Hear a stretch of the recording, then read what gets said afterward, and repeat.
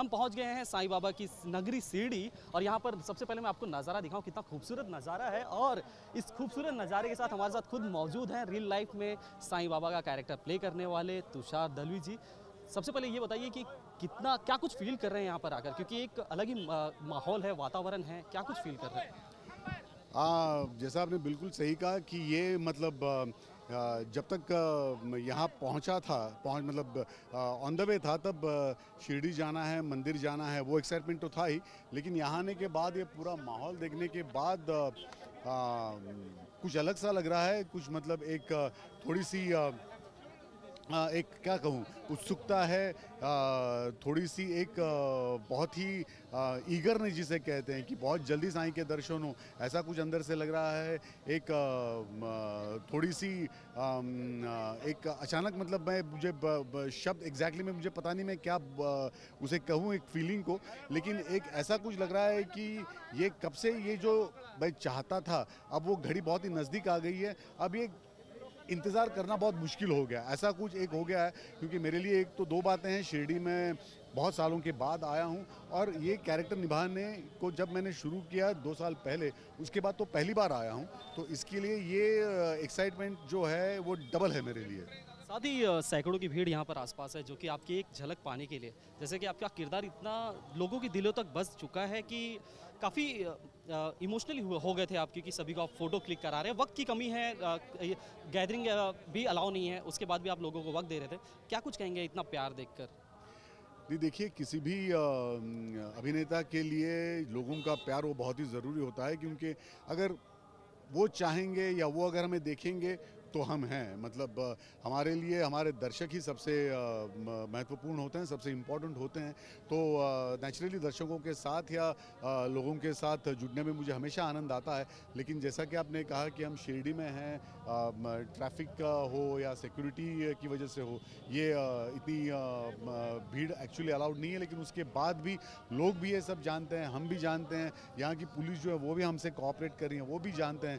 तो बस मेरी कोशिश यही है कि ये लोगों का जो प्यार है वो अगर एक एक हाथ फ़ोटो देने से या आ, उनके साथ कुछ चंद शब्द बोलने से आ, वो अगर उनको खुशी मिलती है उनको अगर अच्छा लगता है तो मेरे ख्याल से आ, मुझे करने में कोई आपत्ति नहीं होनी चाहिए। तो जितना हो सके मैं करने की कोशिश करता हूँ। साथ ही हज़ार एपिसोड पूरे हो गए हैं और बड़ा ही, अभी भी प्यार दिया जाता है रिपीट मोड पर लोग देखते हैं। और अब एक नए चैप्टर की भी शुरुआत हो रही है, जिसका हमने प्रोमो देखा। क्या कुछ कहेंगे? काफ़ी खूबसूरत प्रोमो है और एक नई जर्नी दिखाई जाएगी। क्या कुछ कहेंगे इसके बारे में?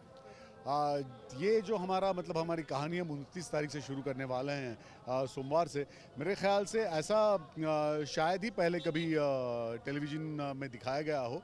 आ, ये जो अभी देखिए ये हमारा धारावाहिक है तो हम इसमें कुछ कुछ कल्पनाएँ भी या मतलब फिक्शन हम जिसे कहते हैं इसका भी आधार लेते हैं। लेकिन हाँ ये इस कहानी के बारे में एक चीज़ मैं आपको ज़रूर कह सकता हूँ कि ये कहानी सच्चाई के बहुत ही करीब ले जाएगी क्योंकि हम सबके मन में उत्सुकता है क्योंकि हम इसके बारे में जानकारी नहीं रखते कि साईं का बचपन कैसे गुजरा होगा साईं बचपन में कैसे होंगे आ, क्या नटकट होंगे शरारती होंगे या बहुत ही क्वाइट होंगे ज़्यादा बात नहीं करते होंगे ऐसे कई प्रश्न जैसे आपके मन में है मेरे भी मन में पहले थे लेकिन ये कहानी इस कहानी को पढ़ने के बाद ये कहानी हम शूट कर रहे हैं। शूटिंग के बाद मैं ये कह सकता हूँ कि इस कहानी में इस कहानी के ज़रिए आपका मनोरंजन तो होगा ही, लेकिन कई ऐसी बातें आपको मालूम चल जाएँगी। जो सच्चाई के काफ़ी करीब है तो मनोरंजन और सच्चाई, इसका बहुत ही अनोखा मिलाव आप इस कहानी में देख पाएँगे। फाइनली लास्टली क्या कहेंगे? जो आपके दर्शक हैं, जो आपके फैंस हैं, उन्हें क्या कुछ कहना चाहेंगे?